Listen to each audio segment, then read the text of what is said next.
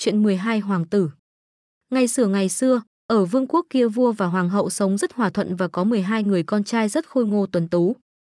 Có lần, vua nói với hoàng hậu, nếu đứa con thứ 13 lại là con gái thì 12 đứa con trai kia phải chết để cho con gái ta thừa hưởng một mình gia tài và trị vì vương quốc này.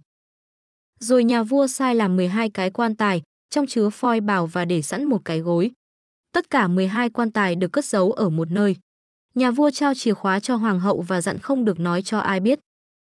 Hoàng hậu suốt ngày giàu dĩ, đứa con trai út lúc nào cũng ở bên hoàng hậu. Đó cũng là đứa con hoàng hậu đặt tên theo kinh thánh là Benjamin. Thấy hoàng hậu lúc nào cũng có vẻ buồn buồn, hoàng tử hỏi. Mẹ ơi, sao mẹ lúc nào cũng buồn vậy? Hoàng hậu bảo. Con yêu quý của mẹ, mẹ không được phép nói ra điều đó. Hoàng tử hỏi luôn mồm về chuyện đó làm cho hoàng hậu phải mở cửa buồng và chỉ cho biết 12 quan tài. Rồi hoàng hậu giải thích. Benjamin, con yêu của mẹ, nhà vua đã sai làm quan tài cho con và 11 anh trai của con. Nếu người con thứ 13 ra đời lại là con gái thì tất cả 12 anh trai sẽ bị giết, đặt vào trong quan tài đó đem chôn. Hoàng hậu vừa nói vừa khóc nức nở, cậu con út an ủi mẹ. Mẹ ơi, mẹ đừng khóc nữa, chúng con sẽ tìm cách đi khỏi nơi này. Hoàng hậu bảo, con hãy cùng 11 anh con lẻn vào trong rừng. Các con thay phiên nhau trèo lên cây cao để canh chừng xem cờ cắm ở tháp canh hoàng cung. Nếu mẹ sinh con trai thì sẽ có cờ trắng ở tháp canh, các con có thể trở về hoàng cung. Nếu mẹ sinh con gái, sẽ có cờ đỏ ở tháp canh, lúc đó các con hãy nhanh nhanh tiếp tục lên đường. Chúa kính yêu sẽ che chở các con. Đêm khuya nào mẹ cũng cầu khẩn cho các con, để mùa đông được quây quần bên lửa sưởi ấm, mùa hè quây quần dưới bóng mát của cây cổ thụ. Rồi người mẹ làm dấu cầu nguyện cho đàn con. Ngay sau đó 12 anh em trai trốn vào rừng. Anh em thay nhau trèo lên cây cao quan sát tháp canh hoàng cung. Đã 11 ngày trôi qua không có cờ, ngày thứ 12 đến lượt Benjamin thì thấy có cờ cắm ở tháp canh, nhưng không phải là cờ trắng mà là cờ đỏ, lá cờ báo tất cả 12 anh em phải chết. Khi biết tin, tất cả 12 anh em đều tức giận nói. Tại sao chúng ta lại phải chết chỉ vì một người con gái? Chúng ta thề sẽ trả thù, người con gái đầu tiên chúng ta gặp sẽ phải đầu rơi máu chảy. Ngay sau đó, 12 anh em lên đường, đi vào tận sâu giữa rừng. Ở đây bóng cây che hết ánh sáng mặt trời, nên lúc nào cũng âm u. Đứng ở giữa rừng là một căn nhà nhỏ mà mụ phù thủy đã bỏ bùa. Nhìn thấy căn nhà, họ đồng thanh nói. Chúng ta sẽ ở đây. Benjamin là em út và là người yếu nhất thì ở nhà lo bếp núc. Còn 11 chúng ta đi săn kiếm đồ ăn. 11 anh trai kéo nhau đi săn chim, hoãng đem về để Benjamin chế biến thành món ăn, ăn cho qua ngày. Thấm thoát, họ đã sống như vậy ở trong căn nhà đã được 10 năm. Người con gái hoàng hậu sinh ra giờ đây đã trưởng thành, cô rất thương người và cũng rất xinh đẹp, chán cô có ngôi sao vàng. Có lần, nhìn trong đống đồ đem phơi cô thấy có 12 chiếc áo nhỏ, cô hỏi hoàng hậu. Mẹ ơi, 12 chiếc áo nhỏ này của ai? Nhỏ thế thì không phải là của vua cha rồi. Hoàng hậu buồn rầu đáp. Con yêu của mẹ, đó là áo của 12 anh trai của con. Cô gái hỏi tiếp. Thế 12 anh trai của con đâu? Con chưa nghe thấy ai nói về điều này. Hoàng hậu bảo. Chỉ có Chúa Trời mới biết được nơi ở của các anh con. Các anh con đang lưu lạc khắp mọi nơi. Rồi hoàng hậu dẫn con gái tới một căn buồng, rồi lấy khóa mở cửa và chỉ vào phòng. Đấy là những quan tài làm sẵn dành cho 12 anh trai của con. Nhưng các anh đã trốn khỏi hoàng cung trước khi con chào đời. Rồi hoàng hậu kể cho nghe hết đầu đuôi câu chuyện. Nghe xong, công chúa nói. Mẹ ơi, mẹ đừng khóc nữa, con sẽ đi tìm các anh con. Công chúa lên đường và mang theo 12 chiếc áo. Cô vào tận sâu trong rừng. Cô đi suốt ngày, khi trời tối thì cũng là lúc cô tới căn nhà nhỏ trong rừng sâu. Cô bước vào trong nhà thì gặp một chàng trai, người này hỏi. Cô ở đâu tới đây? Cô định đi đâu? Chàng ngạc nhiên vì vẻ đẹp lộng lẫy của nàng, người đã xinh đẹp lại có ngôi sao vàng ở chán. Cô gái đáp. Tôi là công chúa, tôi sẽ đi cùng trời cuối đất để tìm cho bằng được 12 anh trai của tôi.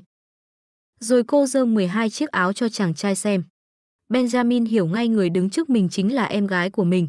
Chàng nói, tôi là Benjamin, em út trong 12 người anh của em. Hai anh em hết sức vui mừng, vui tới mức ôm hôn nhau vừa khóc. Chàng nói, còn một việc nữa, các anh có thể nguyền, người con gái đầu tiên mình gặp sẽ phải chết, chỉ vì chuyện sinh con gái mà tất cả 12 người phải đi trốn tránh. Cô gái nói, em sẵn sàng chết để giải thoát cho 12 anh.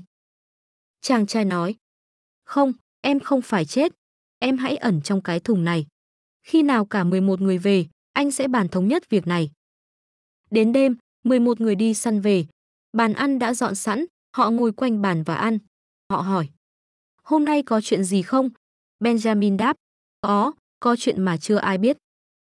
Thế chuyện gì nào? Trong lúc các anh đi săn, em ở nhà và có chuyện. Thì kể tiếp đi.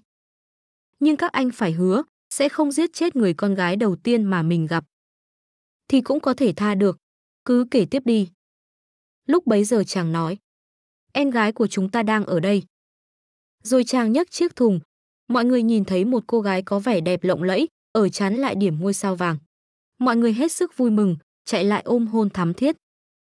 Giờ nàng ở nhà cùng với Benjamin lo công việc bếp núc. 11 người anh trai hàng ngày đi săn thú như chim, thỏ, hoãng đem về để chế biến thành món ăn. Cô em gái đi hái rau, nhóm bếp và nấu thức ăn, để đến khi 11 anh trai đi săn về là có ngay.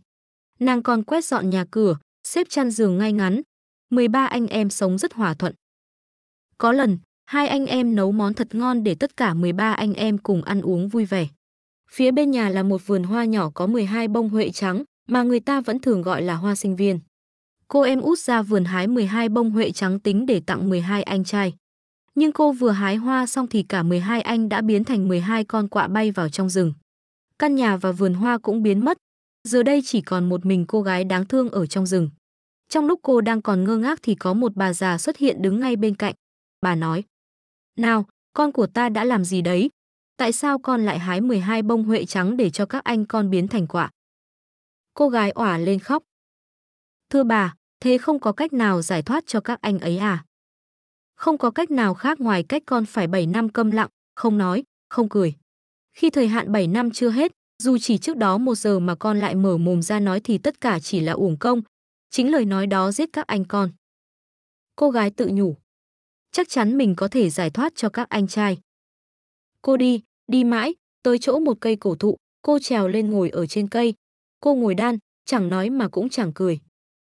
Có lần nhà vua đi săn trong rừng, con chó săn to chạy lại gốc cây cổ thụ, nó vừa chạy quanh thân cây vừa sủa. Nhà vua thúc ngựa chạy tới thì nhìn thấy trên cây có người, nhà vua hết sức ngạc nhiên về vẻ đẹp của cô gái có ngôi sao vàng ở trán. Nhà vua hỏi cô có ưng làm hoàng hậu không? Cô không nói, nhưng gật đầu. Nhà vua thân trinh trèo lên cây, bồng cô xuống, đặt cô lên ngựa và đi về hoàng cung. Đám cưới được tổ chức rất linh đình và tưng bừng, nhưng cô dâu chẳng nói mà cũng chẳng cười. Nhà vua và hoàng hậu vui sống bên nhau được mấy năm thì hoàng thái hậu dè biểu chê. Nó chỉ là đứa ăn mày hạ đẳng mà con đưa về nhà. Ai mà biết được nó sẽ làm những trò quỷ quái gì. Nếu nó câm thì không nói được, nhưng ít ra nó cũng nhoẻn được miệng cười.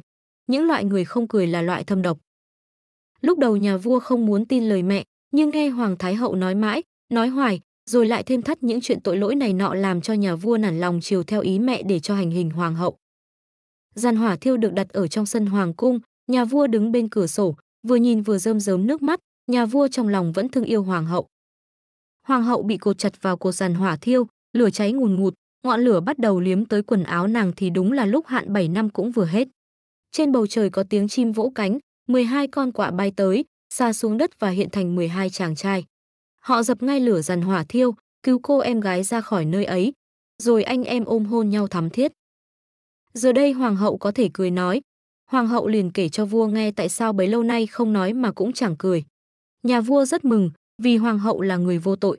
Nhà vua và hoàng hậu sống hòa thuận tới khi khuất núi. Thái hoàng hậu thâm hiểm độc ác bị đưa ra xét xử, bị ném vào vạc dầu sôi bơi cùng lũ rắn độc và chết đáng kiếp mụ.